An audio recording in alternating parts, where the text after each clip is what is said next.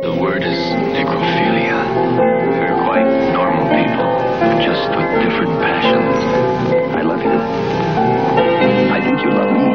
But every time I touch you, you turn off. Now, what is it? A beautiful child woman, driven by uncontrollable passion.